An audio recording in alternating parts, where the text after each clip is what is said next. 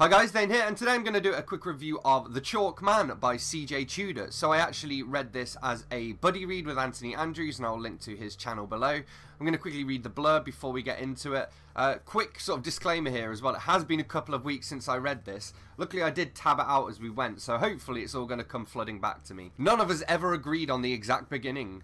Was it when we started drawing the chalk figures, or when they started to appear on their own?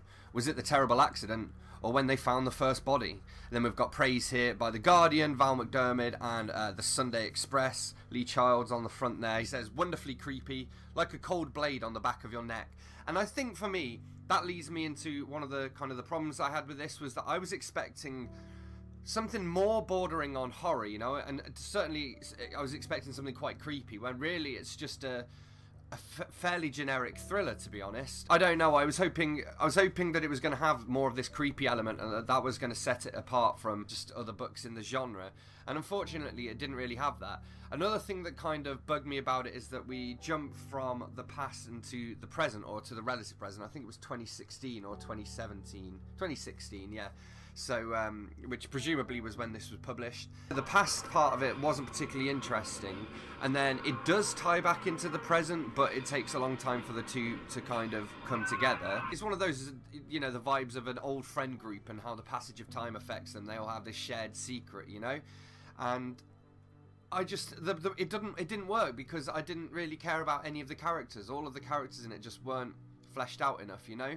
So I'm going to go through anyway and check out some of my uh, the bits that I highlighted because there were little references and stuff that I did like as well. Like this one here. Um, so this is about Fat Gav. Um, so Fat Gav said, I could lend you some money, but I haven't got much left. I was pretty sure this was a lie. Fat Gav always had more money than the rest of us. Just like he always had the best toys and the newest, shiniest bike. His dad owned one of the local pubs, The Bull, and his mum was an Avon lady. So uh, Avon ladies, we used to have one uh, in the Midlands where I grew up as well. They sort of sold from catalogs. They sold like household and beauty products.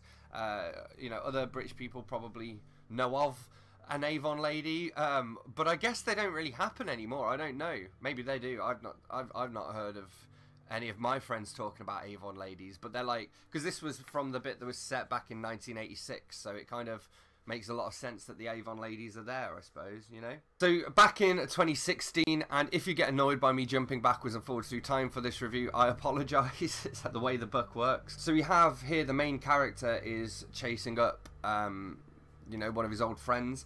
And he finds uh, he has done pretty well for himself. He works for an advertising agency, the type that has unnecessary umlauts in its name and an aversion to capital letters. There were pictures of him with clients, at product launches, clutching glasses of champagne, smiling the type of smile that ensures a dentist's comfortable retirement. And that was basically kind of what my job used to be as well. My old company I used to work for was called FST, all in lowercase.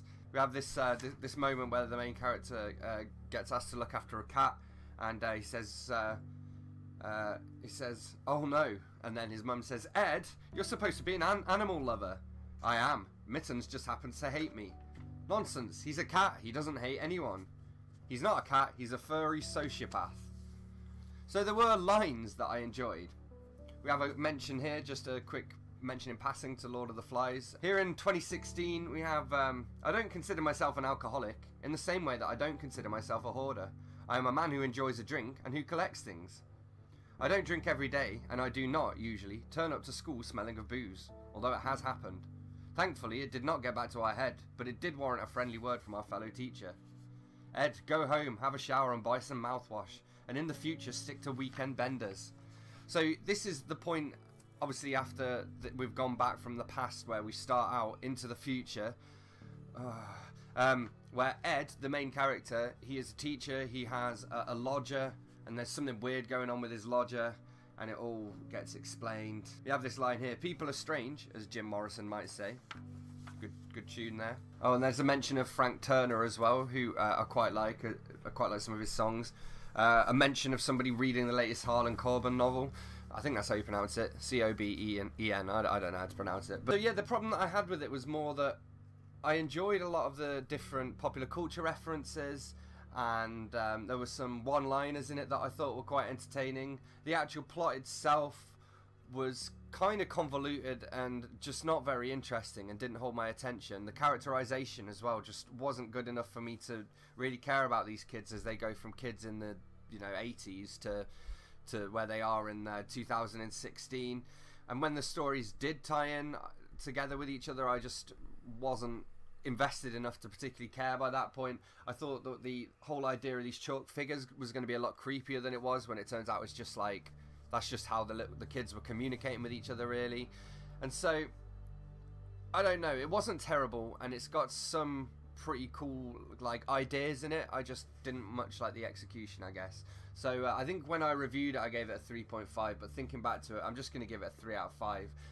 But I think you should also bear in mind that I wasn't expecting it to be as much of just a generic thriller as it was basically and I don't really like thrillers very much so I was expecting it almost to be not horror, but edging towards horror, you know, especially with a blurb from Stephen King and this talk about it being creepy and whatnot. And it's just, um, you know, I mean, I, I, would say, as much as I didn't much enjoy reading Gone Girl, just go and read Gone Girl. Like, so there are my quite rambly thoughts on The Chalk Man by C.J. Tudor.